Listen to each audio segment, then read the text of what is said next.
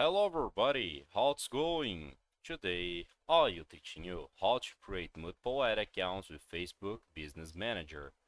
So the first thing you need to do is go to your Facebook Business Manager on your computer, okay? So just open your browser and go to your Facebook Business Manager, okay? After that, right here, all you need to do is simple.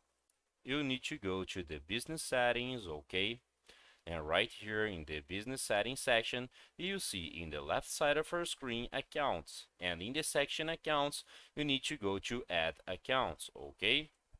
So right here in the ads account section, it's very simple to continue. You just see the button in blue add okay the button in blue add as you see here add accounts in enter id asset names beside that searching bar you see the button in blue add. So just click here.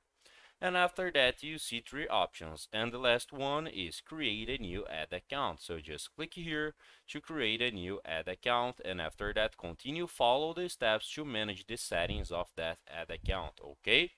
So i hope i can help with this video if you like it, don't forget to subscribe in our channel and hit the like button. See ya!